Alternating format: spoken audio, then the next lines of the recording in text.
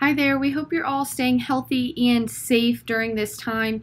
We want to give you a tutorial today about ScienceFlix. So this has different educational videos, articles, and experiments that you can use whether you're a teacher and putting together some lesson plans online or if you're a parent and you're you know at home and teaching your kids right now this is a fun way to do it. There are also some lessons plans and quizzes and projects to do as well.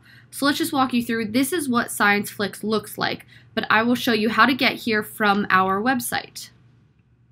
You'll want to start right here on our main page on our web page go to emedia go right down to ScienceFlix and then right here, you'll have to type in your barcode as well as your password, and then this will pop up. So you'll see here there are so many different topics that you can choose from. And you can head up here and try different experiments.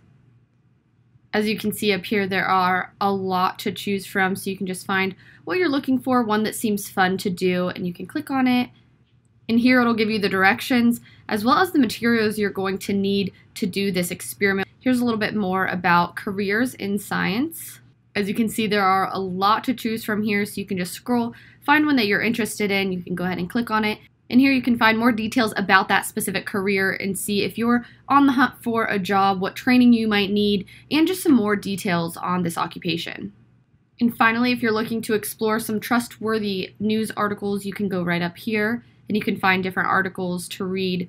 This is for grade levels, elementary school, middle school, and high school. It's all completely free with a library card and account. All you have to do is sign up for one of those, and it's super easy to do on our website. But this is just one thing that you could do with your kids or do yourself while you're home during this time. Thanks so much.